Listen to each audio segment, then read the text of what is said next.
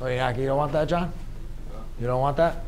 Uh, yeah, I want. Ah, all right, good. I'm going to the side. So, now, on the thesis statements, what I think a good thesis statement to start off with is Mr. Brian McLogan, all right, starts.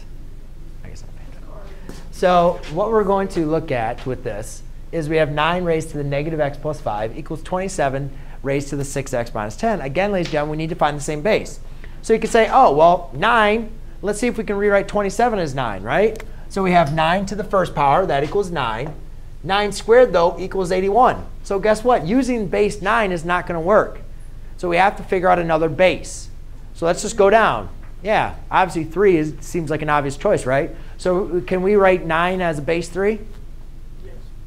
Equals 3 squared. What is 27 as base 3? Quick cube. 3 cubed. So we have 3 squared equals 3 cubed. Then, now we apply distributive property, because remember we multiply them when we raise an exponent to an exponent. Sorry? Uh, no, this is number 5. Now, since my bases are equal to each other, we know my exponents are equal to each other.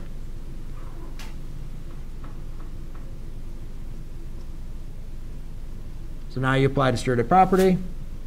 Negative 2x plus 10 equals 18x minus 30.